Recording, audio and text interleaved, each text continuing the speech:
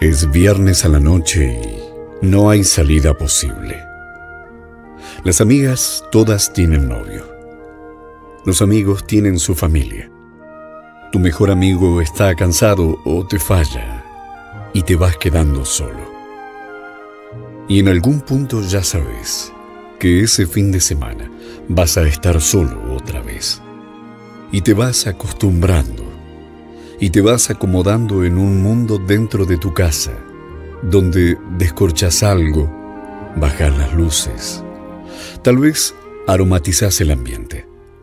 Te sentás en tu sillón predilecto a beber una copa de vino.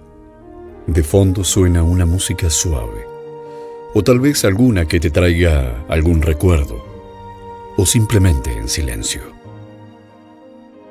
De a poco nos relajamos, pero a la vez, volamos con nuestra imaginación donde podríamos estar en este preciso momento.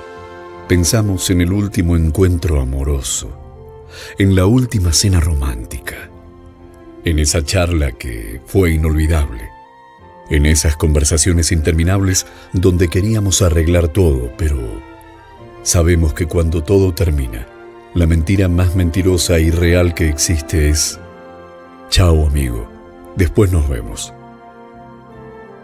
Todos sabemos que eso no sucederá jamás, al menos hasta que uno levante el teléfono nuevamente e insista en otra reunión u otra juntada.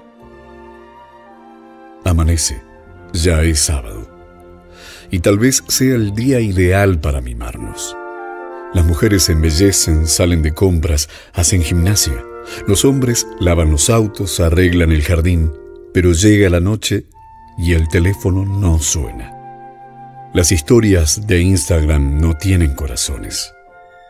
Y la luna nos atrapa otra vez, solos, solamente, un poco más relajados. Ya es domingo de madrugada. La película fue atractiva, no quedaron chocolates y elixires sin probar, pero el sueño nos llama nuevamente. La cama está vacía, la luz apagada, y tal vez haga un poco de frío en la habitación. Nos acomodamos y abrazamos la almohada como en un instinto de salvación y fe. Tal vez de amor, tal vez de abrazar a alguien, tal vez de sentir que alguien nos roza. La imaginación y unos tragos hacen que resistamos un poco más pero son las 8 a.m. Los ojos están abiertos y miran a un punto fijo en el techo, sin saber por qué. El silencio es casi total. Nadie nos traerá el desayuno a la cama y nos dirá, buen día. Entonces, en un movimiento a desgano, nos levantamos y casi con nostalgia ponemos el agua a calentar y algo de música. Miramos a nuestro alrededor y seguimos estando solos. Corremos la cortina para ver un poco el día y afuera está lloviendo suavemente. No hay vecinos a la vista y solo se siente de lejos un auto pasar. El almuerzo con un plato y un par de cubiertos es triste. Unas copas de vino dan el pie ideal para volver a la cama y dormir lo que más se pueda. Pasadas las horas el reloj marca el atardecer. Para los solos, el día está acabado y la noche vuelve a abrazarnos con su manto azul, pero esta vez sin estrellas. La llovizna se apoderó del paisaje y el cielo es casi negro.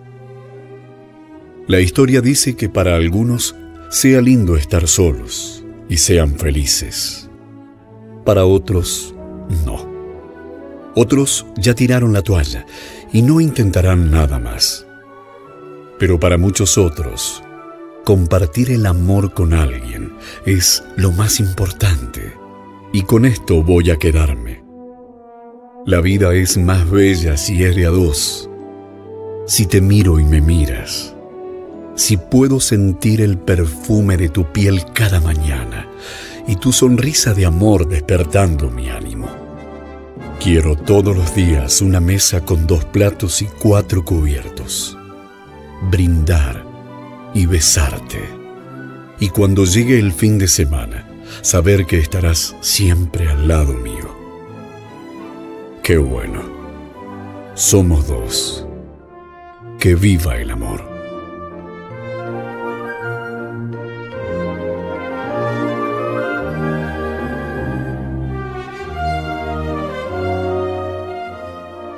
Idea, texto y musicalización, Marcelo Reginato.